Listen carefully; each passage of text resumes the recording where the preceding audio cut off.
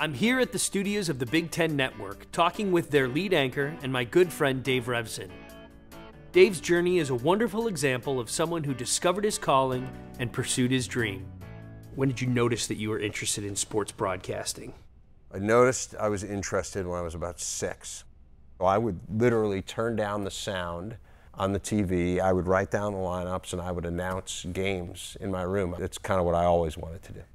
Was there a reason why you didn't pursue a journalism degree and or a radio TV film degree? Yes, uh, that reason was my father. He felt pretty strongly that I, I should get some sort of a broad-based background educationally.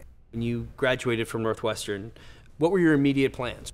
I thought I would go to law school. In the interim period of trying to decide what I wanted to do, I decided I didn't want to go to law school right away and you got a job as an investment banker in New York. Why did you pursue that job? It was available. Honestly, I didn't even really know what bankers did. It was really a bad fit. In the back of my mind, I thought, I can't see myself doing this. And I always knew I wanted to be a sportscaster, but I wasn't really sure how to go about it or what to do. I had a high school friend who I was talking to who was working in small market television. He was able to speak with his news director, and I flew down there and uh, went well, and he said, okay, next opening is yours. And then about two months later, he called me. And this kind of feeling of, okay, well, let's see where this takes me. But I was also realistic in that, hey, this may not work out, and if it doesn't work out, that's okay. I found my passion. I spent a lot of time like working on my resume reel, both when I was in Sherman and in the Quad Cities, and watching Sports Center and seeing what those guys did. The next move was to ESPN yes. News. Can you describe the feelings when that offer came in and you knew that you were gonna you were gonna join ESPN News? Yeah, it was amazing. I mean, to think that for 20 years, right, this is what I'd always wanted to do, and now I knew I was going to get the opportunity to do it. In some ways, on the biggest stage possible.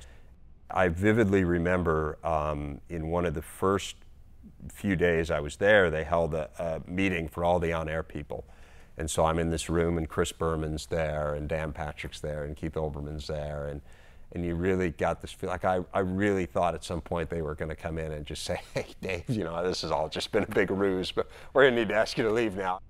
You made a choice to come to the Big Ten Network right. where we are right now. Tell me about that move and, and what factored into that decision.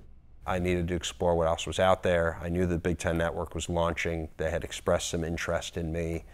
And so you know, well, let's take that next step and, and come interview. If you can imagine talking to yourself at the age of 22, 23, or someone who is like you were. What do you think you would, would, would share with that, that person? Don't let other people tell you what to do. You know, do what you want to do and will will make you happy. And you may not know what will make you happy, but go down the path that seems to lead you to the most happiness. Just be honest with yourself figure out who you are.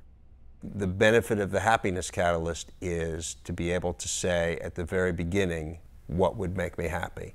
And I don't think you necessarily know that when you're 16 years old. You don't necessarily know it when you're 22. But I think you have a much better chance of getting it right if you're asking that question really early on. And that's where I think the happiness catalyst can really benefit.